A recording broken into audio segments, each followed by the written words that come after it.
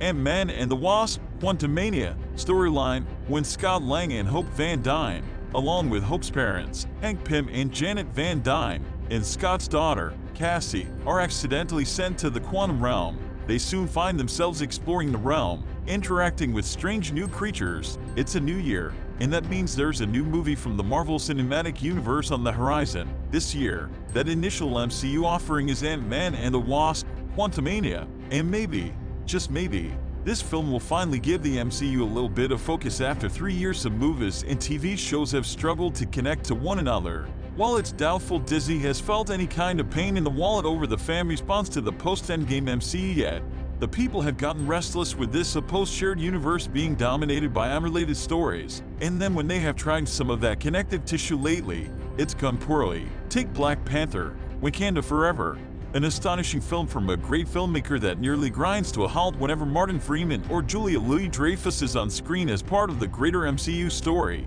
But Ant-Man and the Wasp, Quantumania could change this state of affairs for the MCU by dealing with some major dangling threads and finally giving the MCU the new central plot thread it's been lacking since Endgame. Things may be about to change in the MCU in the biggest of ways.